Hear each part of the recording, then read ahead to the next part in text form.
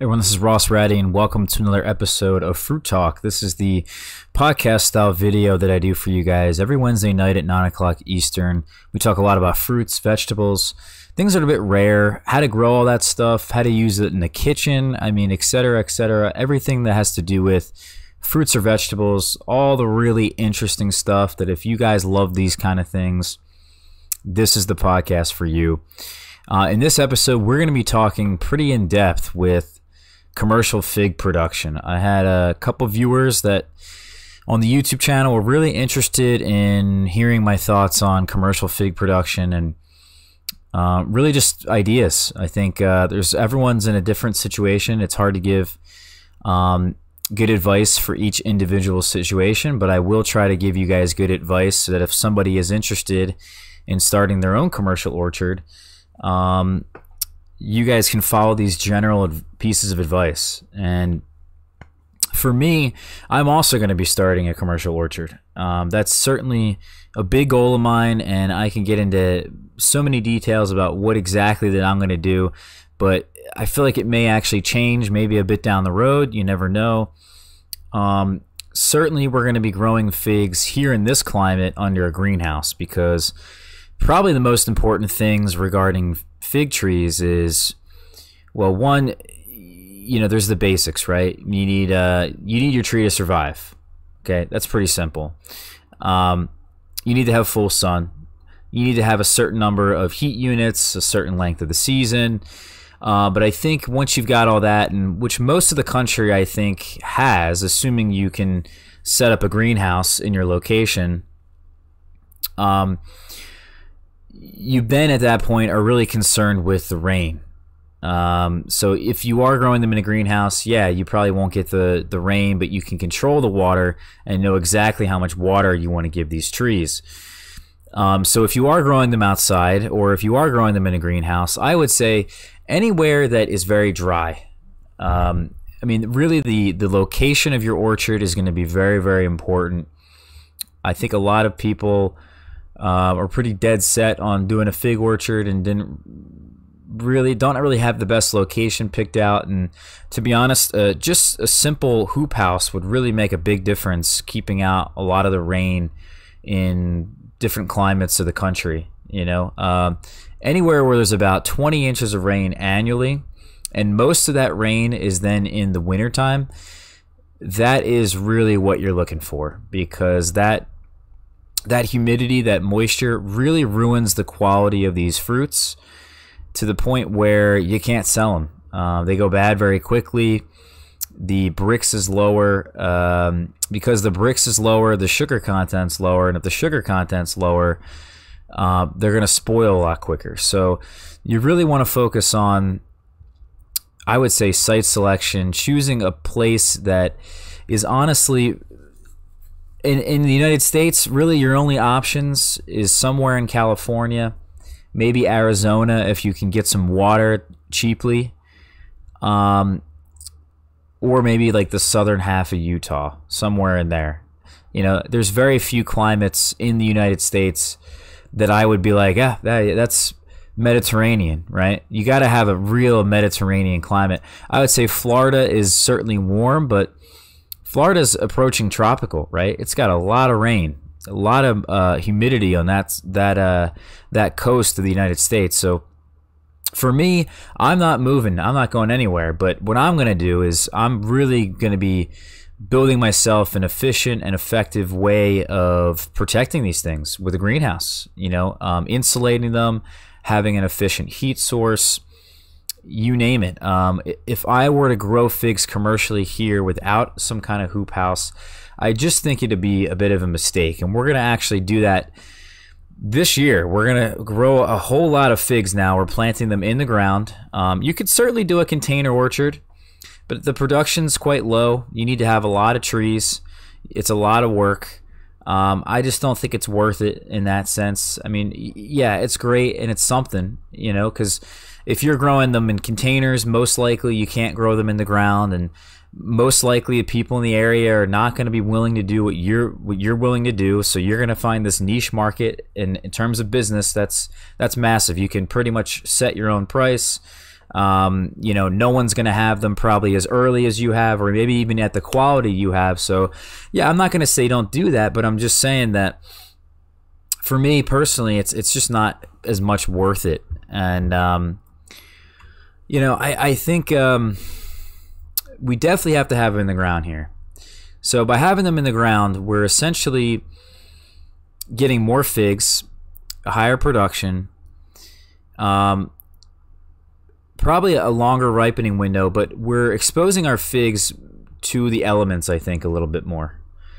And the elements really are key, like I said, the rain. So um, we have to protect them. But I think this year, like I said, I'm going to be planting around 40 varieties of figs this year with the intention of hopefully finding one that survives without any sort of protection that could be grown without a hoop house, without a greenhouse, um, and maybe could potentially put out some kind of fig that is reliable, um, that would be pretty decent for commercial potential. So, you know, and it's also who are, who is it that you're selling these figs to, right? Because now there's variety we have to think about, right? So, you know, leaning into that, are we looking at figs that are we're selling fresh, and who are we selling them to?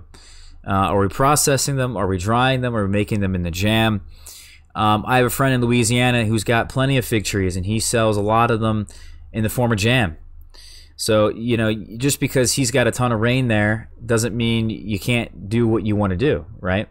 So, I think certainly variety in terms of size is going to be extremely important. If you're selling them fresh at a market, um, people want bigger fruits. Personally, the way that I'm going to be doing this from my entire life is that I have not cared about size. I have not cared about the appearance nearly as much. If the fruit is tasty, I want to eat it, and I want to explain that to people. I want to um, essentially coax them into this belief that uh, this is something they should eat, and let them try it. Let them eat some. You know, you don't have to sell them the fruit to let them try it. Let them try it. Cut it open for them. Give it to them and you know if they get that wow factor you got a customer you know what I mean? So that's my ideal goal was that not only to have these, you know, greenhouse systems, you know, have these fig trees in the ground here, have that niche market, but also put these put these fruits that I'm going to be growing in front of people who just don't know what they are. Let them try it. Let them experience the fruit. I think they're going to be blown away. Of course they're going to be blown away. If I'm blown away, I mean, they're not going to be as excited as I am, but they're going to be blown away. I mean, anyone in their right mind, I think, would be blown away by some of the fruits that I eat.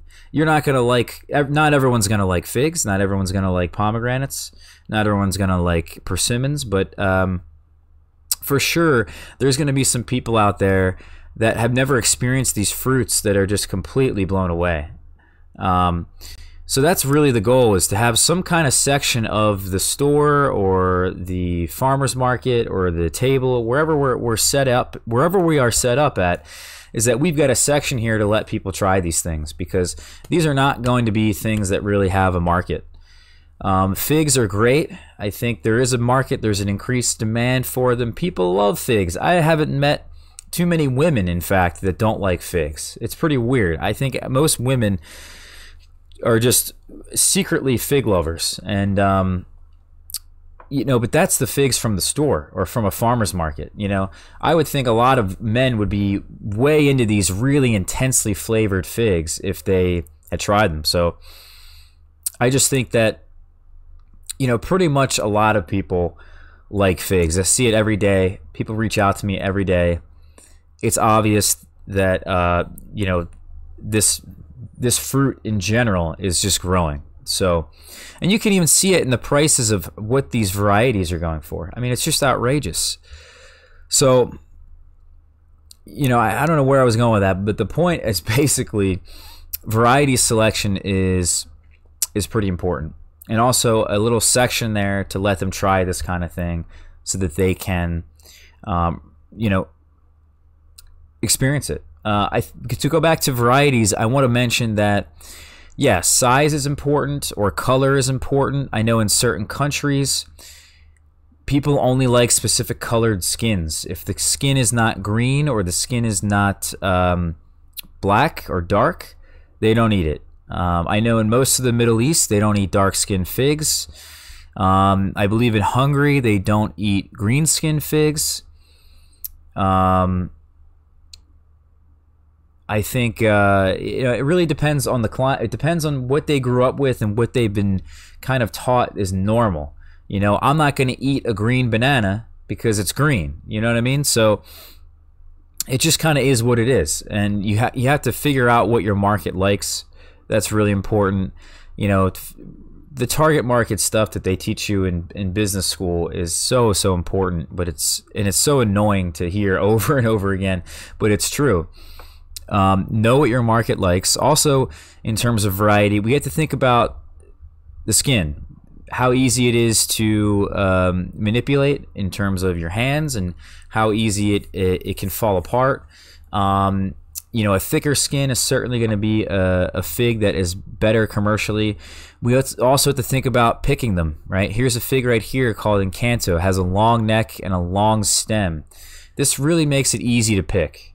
And it's really important that when we pick them, that we're taking the entire stem with it. We're not um, ripping it at the neck. That's going to decrease the shelf life.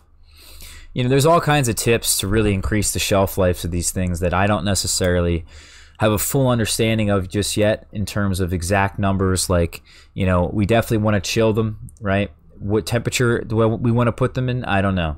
You know, we certainly want to have them in a tray that has a tray where it's like an egg carton where each section of the, the egg carton is for one individual fig. You know, if you can stack them all up on each other, they're going to get smushed. You know, it, it, all this stuff kind of adds up.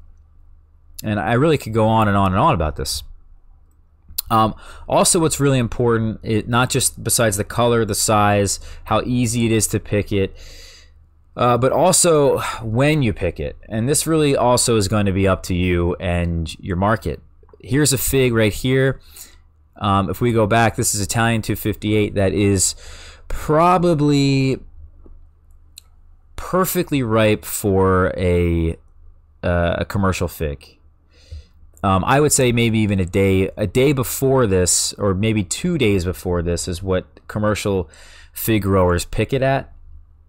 Um, or maybe this is the exact day. It's pretty close to this. So if you got a fig that's 0% ripe, which means it's not edible, to 100% ripe is when you would pick it in your backyard to get the most flavor possible. These growers are picking them at 60%. And then, of course, they're shipping them. And the reason why they pick them so early is because the sap flow at that point hopefully is gone. It's not astringent. It doesn't give you that nasty mouth feel. The sugars have increased just enough, and it's not so soft that you can manipulate it very easily. And the shelf life will be at its highest at that point. So that's really the basics. But for me, personally, I don't really like them too much at this point. This particular fig, I do, right? I really enjoyed this Italian Italian 258, but not every variety is going to be like that. Uh, I would really like for people to experience not only in my store different fruits or at the farmers market different fruits that they've never had before but also when they're supposed to be picked right off the tree locally you know not shipped it's right that right then and there. It's as if they picked it off the tree themselves. You know, that's my objective. and if I can get that to them, you know, this is not going to be the most, um, you know, longest lasting shelf life product. That's why we have things like apples and pears, right? You know, why kind of make force that this particular fruit into that scenario? Why think about this? Why why do we have to think about these things? in the same way that people have been doing it for the last maybe 50 years since really uh, agriculture has gone nuts and we started using you know synthetic fertilizers and really having lots of um, you know monocrops. Why do we have to follow these really crappy standards that all these people have been putting up? And fourth you know this is not going to be the way. I, I know it in my heart. This is not going to be the way just because I'm, you know, just because I'm, I'm only one person, right? And I'm obsessed with this kind of thing. But I can very easily see other people that are my peers, similarly aged, they all get this. I explain this to them and they get it. They understand where I'm coming from. They understand that our food is just complete crap, right? There's a wave of new farmers. There's a there's a wave of new thinking uh, out of younger people, and I just honestly believe that these figs and a lot of these fruits are not going to be conventionally grown forever and conventionally harvested, conventionally picked the same way. It's going to be different. Someone's going to be doing something different, and it's really going to um, it's going to change something. Maybe it won't change something as drastic as you know figs as an example, right? But for certain, I don't want to be giving these people these figs at if it's at 60% ripeness, but 100% is perfect. I don't want to be giving them at 60%. I feel like I'm robbing them. And I feel like that's why I have gotten into this to begin with is that I didn't want to be robbed of the flavor and the the nutrients and the sugars and the quality from these people picking them too early and going to the store and getting that. I wanted to experience the full thing for myself and that's what I want for my customers. So it's all up to you. It really does. I mean, I, I know I just went on this whole spiel, but it's all about how you feel about this. If you're really thinking about starting an orchard of any kind, you really should have some kind of passion beyond the fruit itself. So that's my personal uh, personal opinions on that. So we talked about the varieties. We talked about when to pick these things, um, how to pick them, right? Um, we talked about the climate for you know we we touched on the climate. I guess more points about the climate is that you know we do we do want full sun, right? Um, we did we did talk about this, so I think water again it really is your biggest enemy. Um, what are some other things that people have been asking me regarding commercial fig production? You know, how would I do it? Um, we talked about the market, right? Know your market, figure out a strategy. You and, and here's here's the beauty of the niche is that not many people are going to be growing figs. You, you have lots of restaurants that love to do things with figs. There's a million things to do with figs in terms of processing them, using them in the kitchen. You don't have to always eat them fresh. And there's probably tons of restaurants in the area, Mediterranean style, higher end restaurants that would really love to have these things in their kitchen and they'd be willing to pay for it. You don't always have to sell to you know someone who is a, a an individual that's just going grocery uh, shopping. You know these could be restaurants. Um, and that's really what my plan is. I'm going to start off with restaurants and work my way from there get myself a nice little contact list through the restaurants. And then eventually if we have enough production we can then start moving on to everyday people so and then the other big thing here i think is that because you are growing them, let's say, in a more advantageous way. If you're in California, you're just growing them in the ground. The chances of you having something real special is unlikely. Everybody's growing brown turkey. Everyone's got black mission. Everyone's got tiger panache. You know, um, know that's another thing, by the way. In the in the terms of appearance, they got the stripes. Maybe there's a potential stripe fig that could be the next commercial variety. I doubt it, but you know that could be another option. But the point is, if you're in California, you've got a lot of competition. There's people that can do this very easily. Where I live, it's very difficult. Um, you know, so I have an innate huge niche that I can easily tap into and take advantage of. I can set the prices I want. Also, I'm going to be getting them early. You know, the goal here is also to compete with California because not only do I want to have fruits at a similar time frame that these commercial growers in California are getting them at, but I want to have them at a much higher quality. So that's really the key here is that if, if I can't at least beat them in terms of timing, I need to have a better something. Whether it's a better variety, a better flavor, better quality, you know, you name it. You have to differentiate yourself from somebody that's right down the road, you know. Um, and that certainly getting yourself an earlier crop of whatever it is is going to net you a much larger price because you can set the price at that point. Um, what else do we want to mention here? You know, there's lots of characteristics with these varieties too, with the eye, spoilage, um, the skin, the skin thickness, how easy it is to manipulate. You know, we've we talked about this. Um, I there's someone who did ask me about growing figs in a polyculture setting and more of a more of like a permaculture style setting, um, or just an orchard that is set up. You know, something along the lines of like J.M. Fortier or um, that dude in Canada growing apples. What was it, what is his name? But basically, someone who's got not just rows of figs, but also has things around it helping it. Um, and I would say that really depends on the climate, depends on your situation. So it's very difficult to answer. I would say in my climate, a nice little polyculture um, is going to be something that's going to deter pests or bring in beneficial insects to kill unwanted pests because the biggest thing that I struggle with is the fruit fly. Um, the birds don't really necessarily bother them. You can certainly net the trees. Um, you know, that's a bit of a pain. But, um, you know, there are ways around other different critters. Um, it's very difficult to stop insects. And I would say find a way that you can have birds and other things that they can munch on or eat different things in your yard or in the orchard that are around the, that ripen around the same time as figs and, and they'll go after those at the same time. They'll go as, they'll go after those instead. I'm sorry, not at the same time.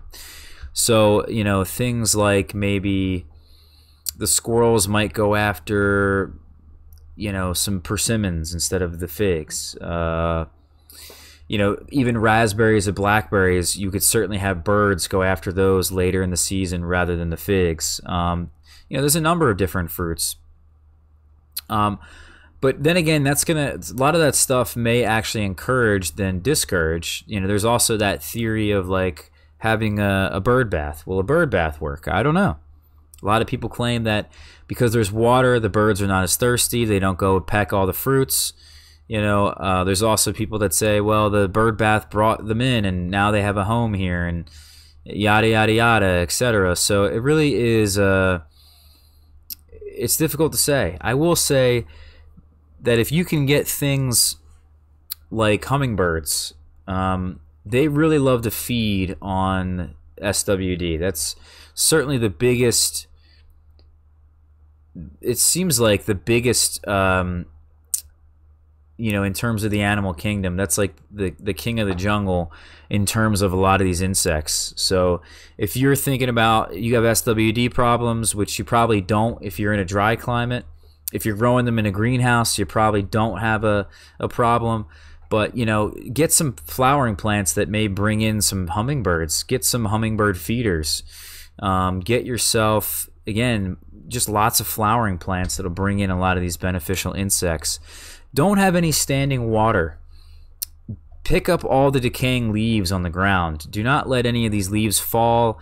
If you have problems with rust, I I really would um, I would really recommend using something um, that has silica in it, whether it's a foliar spray, either it's Dyna-Gro Protect or uh, some diatomaceous earth or something on the soil level that's going to be absorbed into the soil that these plants can uptake to help fight against rust if you're in a, a more humid climate.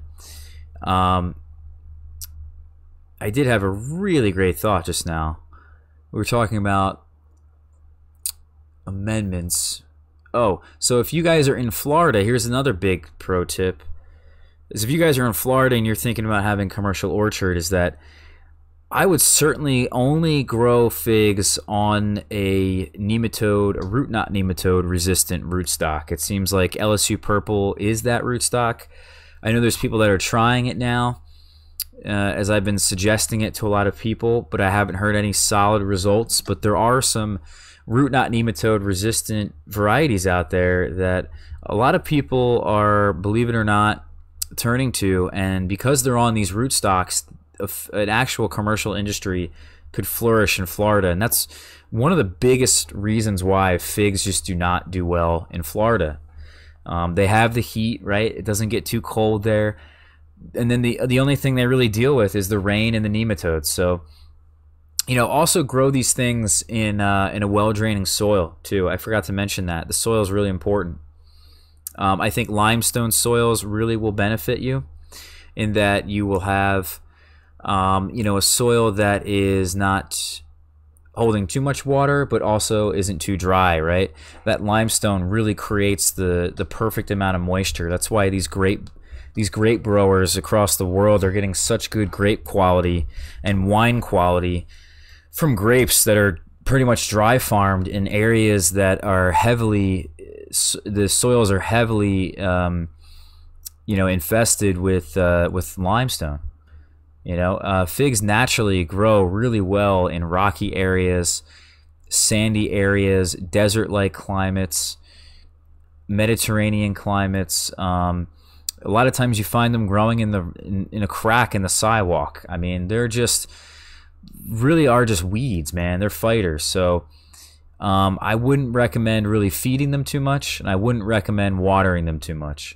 And I would really pay attention more so to micronutrients. I wouldn't really pay atten- too much attention to things like nitrogen or phosphorus. I would do lots of potassium. Um, that may help with fruit quality. I certainly would pay attention to your soil profile, right? I mean, that's an obvious one you know, check out the boron levels, check out the calcium, magnesium levels. Um, those are big ones with me. I'd also recommend checking out, um, you know, uh, um, silica. I think that's really, really important. It seems to do really great wonders for my figs.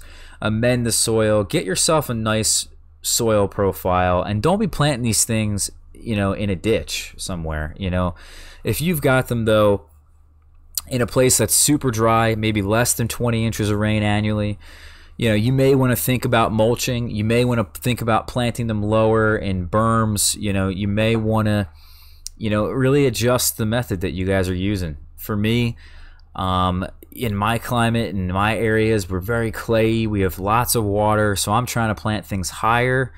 I'm trying to decrease the nutrients. I'm trying. Really, figs do better in um, poor soils. I'm not. I'm not kidding. Like uh, even some other more Mediterranean fruits or subtropical fruits, like even pomegranates. You know, these things don't. Or not pomegranates. Um, maybe pomegranates too, but certainly persimmons. Is that persimmons and figs really don't fruit that well in really fertile soils. They they really like to.